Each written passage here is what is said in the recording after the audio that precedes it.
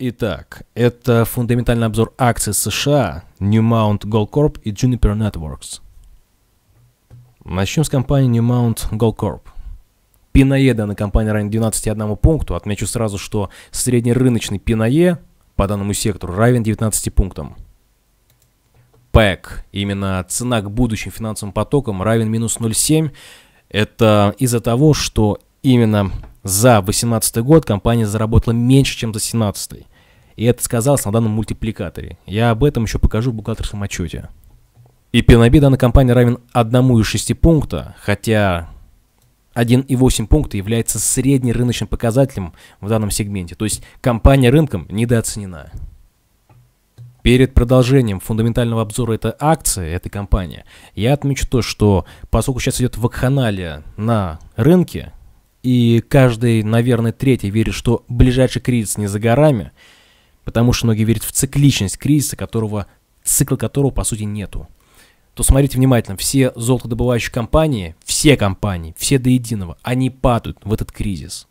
И данная компания, Newman Gold Corp, она не была исключением в 2008 году.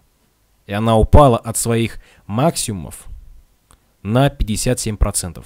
Так что в этом плане будьте аккуратны, если вы относитесь к группе людей, которые верят, что финансовый кризис очень рядом. Далее выручка компании будет постепенно наращиваться.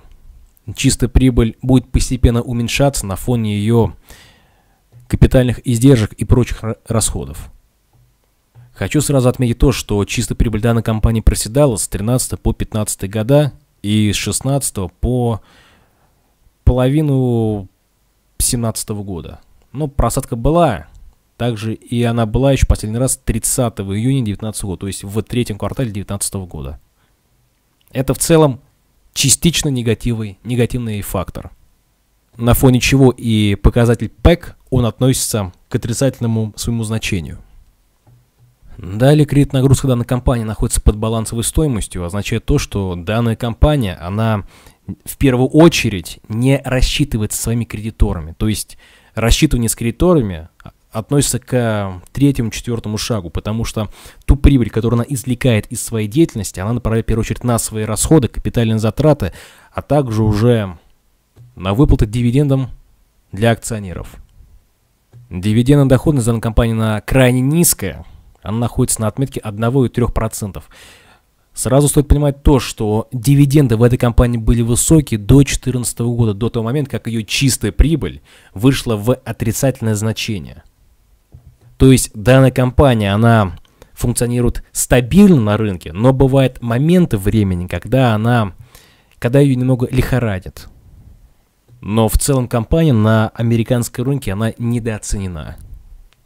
И дальнейший ее рост возможен только в том ключе, если она будет иметь положительный баланс по чисто прибыли, то есть положительный заработок, то есть не отрицательный, как это было в некоторые моменты времени ее, а именно плюс, что был по чистой прибыли, тогда и компания будет постепенно расти.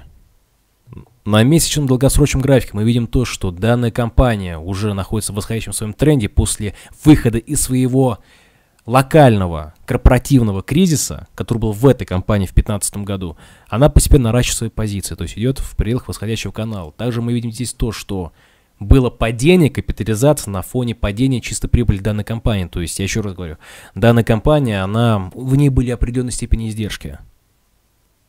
И мы видим сейчас то, что чистая прибыль по отношению с 2017 годом в 2018 году, она просела – чисто, не чисто приблизительно, а выручка компании, она просела. Но чистая прибыль, она возросла. Почему? Потому что, первый момент, в 2017 году был отрицательный доход компании по чистой прибыли, в 2018 году он стал положительным.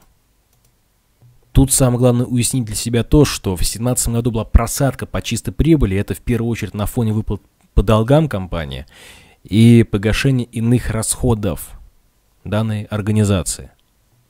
Также стоит понимать то, что в текущем году компания, по сути, заработала рекордную чистую прибыль за третий квартал 2019 года.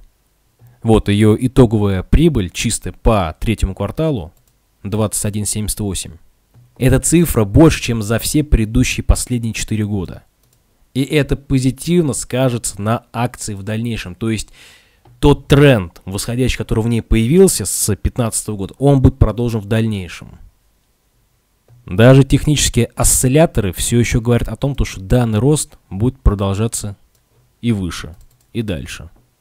Тем более для быков, то есть для покупателей, имеются непроторгованные зоны вот здесь вот и вот здесь. То есть так или иначе они туда в скором времени допридут. Плюс ко всему сейчас цена на само золото растет, поэтому для компании это является привилегированным плюсом. Поэтому итог по данной компании, он положительный, и данная компания является недооцененной на американском рынке. Далее компания Juniper Networks. PNE данной компании равен 22,9 пунктам. Среднерыночный PNE 19 пунктов. Показатель PEC равен 1,7 пункта. Показатель P равен 1,8 пункта. Далее прогнозируется то, что выручка и чистая прибыль данной компании будут расти, и это в принципе логично, так как сейчас подобные компании, как Juniper Networks, они пользуются диким спросом на фоне продаж тех или иных товаров, связанных с компьютерной индустрией, и иных товаров, связанных уже с телеком-продукцией. Стоит обратить внимание на то, что в 2015 и 2016 годах чистая прибыль была в просадке, но потом ее неплохо, так сказать, выкупили. То есть компания заработала потом уже позитивную прибыль для себя, плюсовую, а не отрицательную.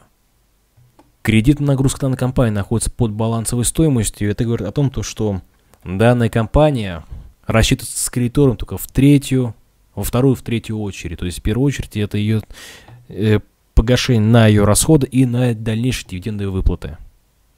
Дивиденды в этой компании в размере 3% годовых в целом данная компания на рынке, она оценена справедливо, но имеет и дальнейший потенциал по росту своей капитализации. Сейчас я это покажу на графике. Цена данной компании ходит в своем боковике. С 2000 года, с момента кризиса доткомов, когда ее цена просто летела в тартарары. Вот вы это видите на экране. И с точки зрения технического анализа тут можно сказать одно, что в этой компании идет такое колоссальное накопление. То есть боковик, это еще раз, это тот диапазон, где уже инвесторы постепенно набирают свои позиции, если они видят в этой компании какую-то свою рентабельность. Но в данный момент времени я пока в этой компании не вижу ничего из того, что могло бы сподвигнуть цену радикально пойти вверх. Пока таких аспектов я не наблюдаю. Поэтому конечный вердикт такой, то что компания, еще раз говорю, она цена на рынке справедлива, но имеет и дальнейший потенциал к росту своей капитализации на рынке. Просто для этого необходим какой-либо драйвер. Но такого драйвера пока что не наблюдается. На этом все. Подписывайтесь на канал Саймонов Биржевик, канал о рынке акций.